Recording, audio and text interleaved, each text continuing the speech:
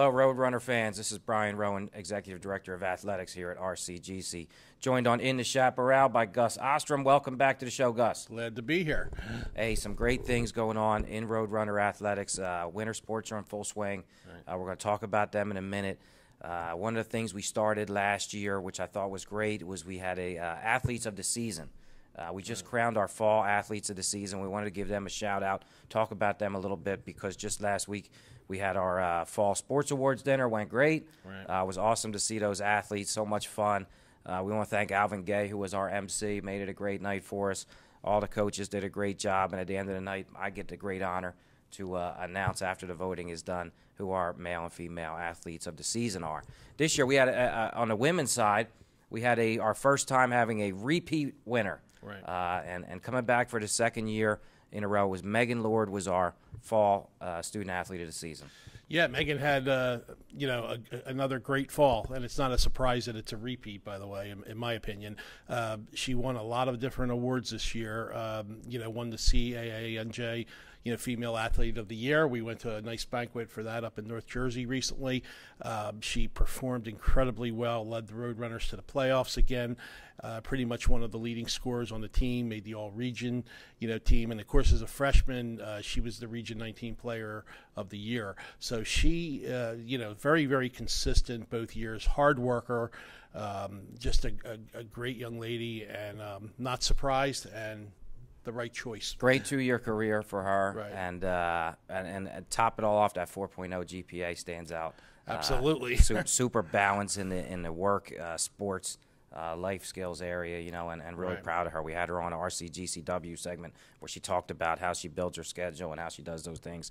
And uh, many of our student athletes could learn something from how she's done so well. Yeah, exactly. And I'll tell you, um, you know, she really took on a leadership role this year. Last year's team with the women's soccer was, uh, you know, uh, had a lot of uh, second-year players on it. And Meg, when Megan was a f- uh, first-year player, and she stepped into that role this year and did, you know, very, very well. Continued her. You know her amazing scoring skills and you know her offensive skills out there, but she took on that leadership role and they had a great season. Yeah, absolutely. Uh, really strong season again for women's soccer. On the men's side, uh, gentleman that started uh, like, likes to start the cross country season a little bit slower. Claims he doesn't like the heat as much, uh, but finished so so strong. Our male uh, student athlete of the season was Mike Dowd. Yeah, Mike had a uh, fan, uh, finished up the season in fantastic fashion, so to speak. You know, uh, second in the in the nation. Okay, All What a great- American for the second race. year. Just an amazing uh, race, and he he had some really rough competition there too, and, and he just had an amazing race. Uh, Mike was uh, you know all region, uh, you know again for two years in a row, Region 19 champion again this year.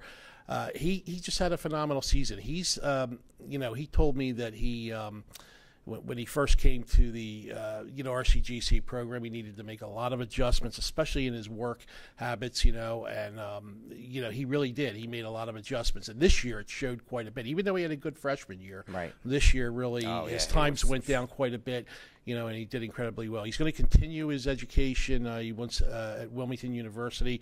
He wants to uh, you know go into business administration, maybe be a financial advisor one day. So he's doing very well on the academic side, and um, of course. We still have a track season That's to go. right, that's right. And he talked about uh, winning that national championship quite a quite a bit last year, and he played a key role in it, you know, too. So he's looking for uh, looking for that repeat. Yeah, absolutely, and it, it was great. You know, the cross country team meets right outside my, my office door on a daily basis before they practice, and uh, and then they come back in there. And Mike, just an extremely hard worker. You know, he, he put in those miles, and I know that as they increased their mileage throughout the year, he, he was really grinding and putting his body through torture on a daily basis in order to get that that great finish. And in cross country, you know, you can have a you can have a great year, but if you have one bad race, you're not an all American. Right. Uh, so that, that pressure's really on in a sport like that, in track and tennis, where the All American status is just determined on that national championship. So Yeah, you get into he's, a, one- he's obviously a clutch guy. Came through for us in track and field last year, and then you know to finish second in that cross country race. Yeah, that's clutch. And he's mentioned several times to me, you know, all the courses are different. Just like you just basically pointed out, you could have one bad race very easily, you know. Um, but I, I- again, he um, he kind of did a little study of things on the different courses ahead of time. He knew what to expect. He had been to some of them before, of course, and. Uh, but he, he was clutch, like you said. Hey, great stuff. Uh, we're really proud of those two male and female athletes. Right. Look, look on our website. Gus has put together nice profiles on each of them, uh, so that's great stuff. Uh, one of the reasons we, we talk, look back, this show obviously looks forward. It's just a little bit of a slow week. We got Thanksgiving holiday in there, uh, so the wrestling team is off next week on the weekend. We've only got one big uh, basketball event, but it is a big one. Uh, whenever we play our crosstown rivals or cross county rivals uh, at Camden or Cumberland, you know, you, you want to see who's ahead in every single right. one of those sports. And we've been ahead, uh, of, of, course, on those programs uh, a lot. And we want to stay that way. Tuesday, we travel to Camden County. Women's basketball is a 5 p.m. tip off. Men's basketball is 7 p.m. tip off. Both of our teams look good, uh, but it's obviously a test when you get into the conference play and region play. Gus, uh, let's start with the women's side. Coach right. Cooper has the team now to a 500 record. They played two really good teams early on, took two losses, now 2 0 in the region, and, and, headed for hopefully a third one. Yeah, and they've won three in a row. Uh, you know, they had a little bit of a tough start because they were playing some incredible national competition there, but uh, they've rebounded very well, three in a row. Uh, and, and I, you know, I think that this is going to continue. This is the type of cycle they went into last year where they had a long winning streak. I don't want to jinx them too That's much right. here. But no, they have some very solid players, you know. Um, you know, on the uh, uh, on the team, some really good shooters out there. Uh, Nyana Saab's having a very good year. Uh, great start, at least. A, great yeah. start, yeah. And and several other players are going to contribute. They're just kind of getting uh, warmed up, I think.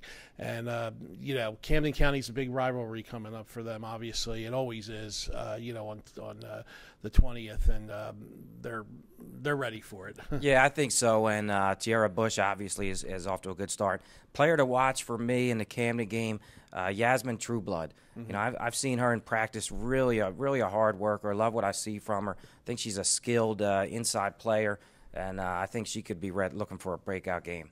Yeah, I think she uh, she's been improving every game. You know, from what I've seen, and, and, and the play of their guards have, you know, have been improving as well. So I, I just think it gets better from here. To be honest with you. Yeah, turn it over seven o'clock nightcap. Uh, we'll be over there. I'm sure you and I taking a look at the games. We'll have try to do some coverage on our Instagram story. If you're not following us on Instagram, it's at RCGC Athletics. Um, men's game, always a big game. Coach Lou over there at Camden uh, great person, has been in yeah. South Jersey basketball for a long time. They say he can keep any game close. Yeah. Uh, always difficult to play against Coach Lou. He does a great job. Uh, I think our coach probably is doing a great job on the preparation side, and now has some extra time to get ready for that one, though. Yeah. Um, well, you mentioned about Coach Lou. He is a tough opponent. tough. so it's always going to be a great game, and the rivalry is a natural one anyway. Uh, you know, on our end, uh, we have we have three or four players who have just been playing out of the universe.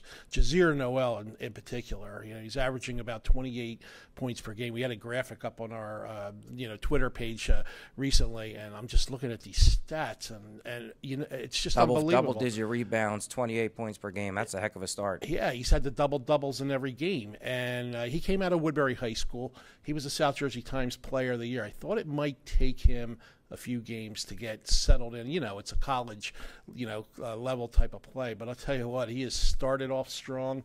I hope he continues that way. He's a great player. Uh, a couple of other guys have, you know, played well. Uh, Naquan McPherson, of course, is, mm-hmm. continues mm-hmm. to shoot well and just play an all-around good game. And and um, Tyler Lunsford's had a good, you know, season so far, and and you know several others as well. So I think uh, Coach Wareham has gotten them off to a great start.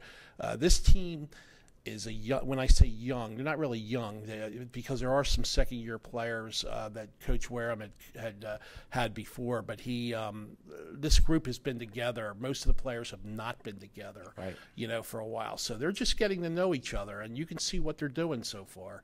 And it's again, it's just going to get better as they continue to, you know, to get to know each other on the court. So big, so. big doubleheader for us. It's really the only action we have next week. So look for a lot of coverage uh, from us. A preview on our website, a lot of coverage on social media, and it's close, so we'll have a lot of our staff there cheering on the Roadrunners. Hey, thanks again for coming on the show, Gus. Hopefully, fans will tune in and, and follow us on the website. We got those features on our fall athletes of the season. Uh, and a lot coming up on our matchup against Camden. Also, coverage of last weekend's uh, wrestling duels at uh, McDaniel College. Thanks for coming on, Gus. Yeah. Go Roadrunners again. Go Roadrunners.